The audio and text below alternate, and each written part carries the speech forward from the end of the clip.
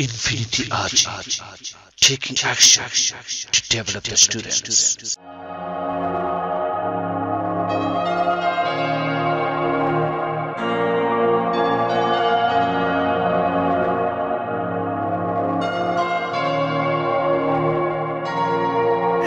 Hello everyone, good evening. Nice to meet you. I am Akash. Welcome to our interview session. Today I'll introduce a guest who is here. Hi.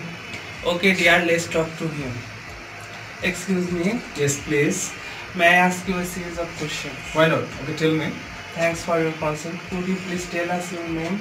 My name is Rashed Musharraf. What do you do? I am a student. What class do you read in? I completed my diploma engineer. Another important asking for you, what's your ambition? That's good question. I wanna be a web developer in future. That sounds good by the way. Are you learning English? Uh, we know English is an international language, uh, so I called English is a modern language uh, to get a good job for native English. So I am I am learning English. Well, this is the last question for you. What's your favorite hobby? That's interesting. My favorite hobby is playing cricket. Thanks for you joining us. Thank you. Okay, dear. We have meanwhile we have known something about Mr. Rashed. Hope to see you. Please take it easy and pardon me. See ya. Bye. Bye.